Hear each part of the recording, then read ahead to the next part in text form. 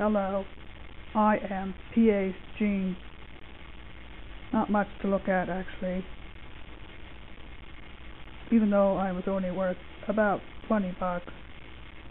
Now that I have a face in me, not the virgin, mind you, but a face nonetheless, I'm at least worth 80 bucks. Hmm. I know. These holes are just worn out. Nothing exciting. But, oh well. Goodbye. What do you expect Jeans to say? I don't know. I'm stupid.